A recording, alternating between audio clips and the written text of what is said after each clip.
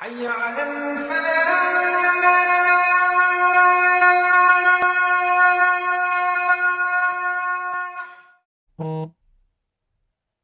Assalamu alaikum wa rahmatullahi wa barakatuh. My brothers and sisters, when we speak about people, when we speak about things, when we advise people, we should try and be very, very careful uh, with the way we have worded things and how we come across because sometimes we become a little bit aggressive in our tone. May Allah forgive me. I hope I have not been guilty of, of that. Perhaps way back, I might have been a little bit harder in the way I came across. Sometimes we don't take into consideration the situations that people face in their lives.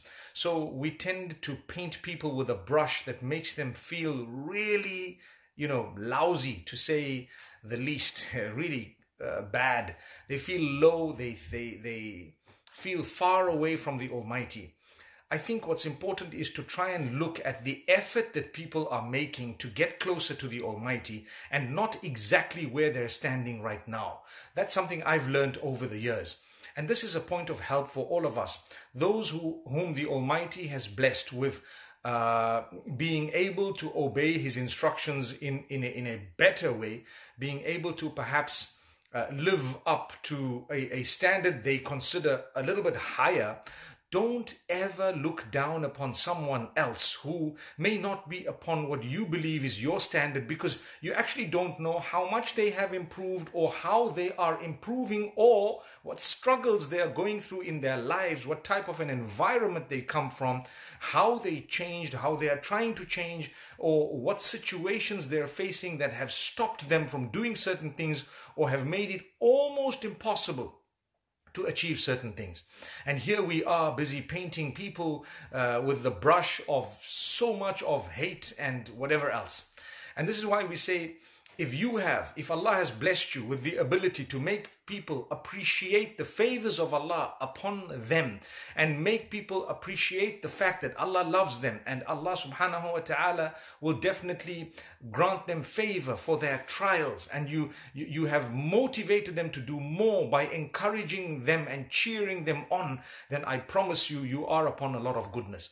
My brothers and sisters, when someone achieves a little bit, what is a good way of helping them to achieve more is to cheer them on, not to smash them and to be to, to, to put them down and to make them feel like they are nobodies and nothings. I know of people who've come from tough backgrounds, under circumstances that we cannot even describe, living in situations that are unbearable, and they are trying. When they achieve the first thing, you have someone who just comes on the internet, mentions them by name sometimes, and actually says these people are, you know, terrible and bad. That's why the Prophet, whenever he wanted to correct someone, he never mentioned names. Have you noticed? You know, I was quite impressed when uh, the people in New Zealand refused to name the the person who perpetrated that heinous crime of killing so many Muslims in the masjid. Uh, may Allah grant them all a, a lofty rank in Jannatul Firdaus. But they said we don't want to glorify or to mention or to even give importance to uh, the person, so we won't even mention the name. And I'm busy thinking, subhanAllah, the Prophet ﷺ, when there were sins that happened, he never spoke of the names of the people, so we barely know names of people who did who committed sins among the Sahaba radiallahu anhum, yes, those who were total hypocrites who were exposed, we know a few of those names. But to be honest, he says, Ma balu aqwamin. What is it with some people who did this and some people who did that? When you speak that way, it's a sunnah, which means it's the teachings of the Prophet, peace be upon him. It doesn't embarrass someone and at the same time, it gives them an opportunity to correct themselves. And you know what? More than all of that, it encompasses a piece of advice that would fit for uh, to, that would fit uh, people who are committing that sin who were not named at all who no one knew about who would actually say oh wow i need to change myself. Look at what i've just heard but when you specialize it to a specific name, then the others who are perpetrating a similar crime feel like it wasn't about them, it was about someone else. So what, what they did is they actually uh, did a disservice to the deen of Allah by claiming that this ruling or this issue is only with this specific person.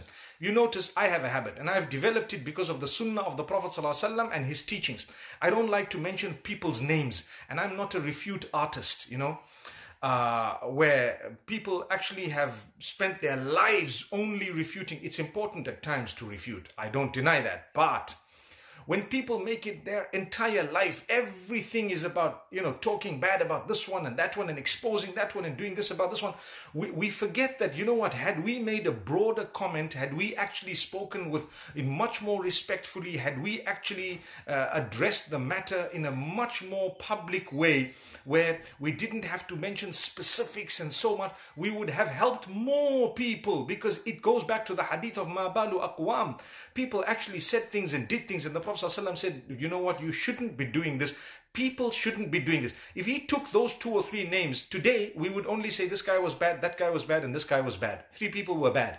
But we wouldn't be thinking of others who are doing worse than that, who needed the help, but because we don't know them and we don't know of them, we didn't mention their names, so the help never ever got to them. But had we just had a broad piece of advice to say, look, there are, please be careful, there are people who do this, there are people who do that, there are some who have done this and done this, people have actually been uh, cheated or whatever else. And you know what? Uh, be careful of such people, be careful of this and that. And guess what? It would have been much broader, and it is. So the point I'm raising here is when we want to address a matter, when we want to address a weakness in people, when we want to guide people, when we want to mention anything, let's try, and this is a message to myself firstly, I should try to speak to people being considerate of the situation that they're in and trying to look at the circumstances they're in. Perhaps their effort has driven them to improve percentage wise much more than you and I, who have made a smaller effort because we felt we didn't really need all of that improvement. Give you an example. You're trying to read your five salah, mashallah, another person's already on five salah. Someone, eh, they, their circumstances are so bad because they're not allowed to pray at work, they're not allowed to pray at home because of their reverts and their families don't allow them, they're not allowed to what, what, what. When this person achieves a small bit, the effort that they've put into achieving that little bit is way beyond any effort you've ever put in that salah in your life, maybe. And here you are telling them that's not good enough. That's not cheer them on, help them, tell them, look, mashallah, you've done very, very well. Now there's still room for improvement. And that's why I always like to say, we can improve. There is room for improvement. I hope you've heard me say that. Now, do you know why we say that? Because my brothers and sisters, I need to improve. There is always room for improvement, and so do you. No matter who you are, what you're going through, none of us are perfect. Every one of us keeps trying. I try. I try very hard. And I tell you what, I appreciate those who give me positive criticism, or should I say, constructive criticism, that which will help me grow. When I feel that this is a genuine piece of advice, I will change almost instantly by the will of Allah subhanahu wa ta'ala. Yeah, that's why I always tell people who like to label, I say, look, show me where I'm making the mistake. What did I say that was wrong? You know, I heard of someone telling me lately or saying somewhere online, and they told me online, someone said that, oh, you know, this guy's involved in shirk and bid'ah. And I said, oh, wow, wow. Can you show me where? Can you show me something I said or did and I will change it. But if you just have that statement because someone said it, I'm sorry. I excuse you. You need help, by the way. May Allah subhanahu wa ta'ala forgive us and grant us all strength. So, my brothers, my sisters, be considerate of the circumstances of people. Not everyone is in your uh, shoes. They are in their own shoes. They have circumstances you wouldn't dream of. You know, uh, I know of people who are struggling, struggling meaning you won't imagine. And the last thing they need is another Muslim coming and bashing them with, with words when they are trying so hard. I know of people who've led their lives totally distant from Allah. And when they're trying to come, the first thing that happens is such a bad word. Let me give you an example a, a young guy who, who said that he's never been to the mosque. For some reason, he decided one day, I want to go to the masjid. And you know, he had his three quarters and he had a t shirt and his hair was whatever. And as he enters this one masjid, no mentioning of areas, one of the elderly uncles tells him, Get out, get out. You can't enter the masjid like this. Move out. And wanted to chase him away. And this guy was coming out and he said, I'll never go back to that mosque again until he met someone else who told him, Look, excuse these people. They belong to an older generation. They don't realize that, you know, the, the percentage of people in the mosques is actually perhaps 5%. I, I, I'm, I'm challenging you. I don't think it's more than 5% of people who actually attend the masjids. I'm, in some communities, it's more, but go and check your communities. It's not more than 5%. Go for Salat al Asr and check how many people are there. Not, not, not even, perhaps 1%. Go, go for Jum'ah, you'll find perhaps 40%. Maybe, maybe if you're lucky. Just the Jum'ah. Come for Fajr, maybe 1%, and so on. Here is a guy coming for Salah. Come on, you don't know. He, he, he, something drew him to the house of Allah. Something made him want to come to the house of Allah. So Allah brought him to his house, and you who are in the house claiming to be holy and pious, those that holiness has got nothing to do with piety. It's got to do with holes. There's holes in your heart and holes in your brain and your mind and your mouth. You don't know what you're doing. That's the holiness that you're involved in. May Allah subhanahu wa ta'ala forgive us. Treat people with respect. Someone coming to the house of Allah, Allah loves them. Allah brought them all the way to His own house you make him feel welcome. If you want to correct him, there is a way of doing things with a smile, mashallah. Pat them on the back, feel, make them feel welcome, and so on and so forth. That is the way that we will be able to help each other in this Muslim ummah. Today, the problem is when we talk, when we give da'wah, when we want to guide, when we want to tell people, we do not think of their circumstances. You know, I know of people who've never ever thought of certain things being halal or haram. The day they start, and that's the day everyone bombards them. I give you one last example. I know of people who revert to Islam. They do it with such a good heart, so clean. And as soon as they come into Islam, people are pouncing on them. You got to do this and you got to do that and you got to be here. And someone says, don't go to that mosque and come to this mosque and go, and don't go here. And these people are astray and those people are here. And woo, they feel like, gosh, I don't even know what I just did. And then you got to tell them, just relax, move at your own pace. May Allah subhanahu wa ta'ala bless you guys. That's just an example. Let's not make people feel unwelcome, unwanted, and make them feel like there's no hope for them.